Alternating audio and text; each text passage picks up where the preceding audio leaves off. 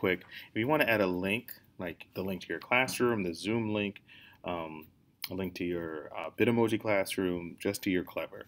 So you would come over here, hit add, um, hit link, right? Um, let's say I want to do my, my Google Meet, so all the kids, so the link can come to my class. I could be like, tech class link or tech class link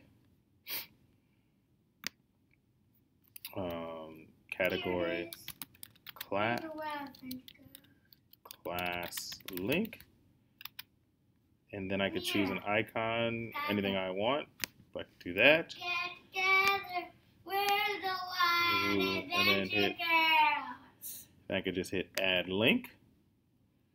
And then here's where it comes, this is the most important part. So you want to edit student sharing.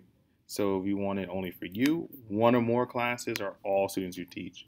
For specialists, it probably want it for all students you teach. So anytime any student can go into their Clever and find your Zoom link.